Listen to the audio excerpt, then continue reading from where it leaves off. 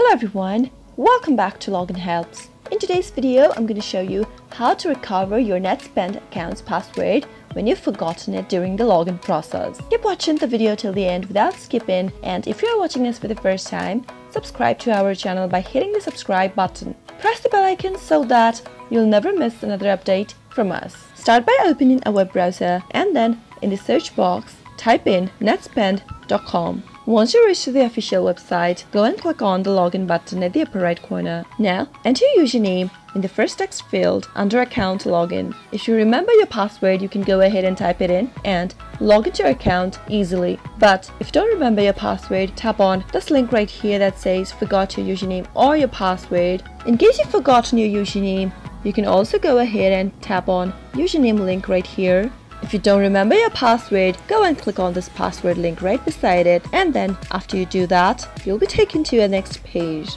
Go ahead and enter your username one more time and go ahead and enter your email address associated with NetSpend. Once you do that, tap on continue. Once you tap on continue, you'll receive an instruction to the email address that you just entered.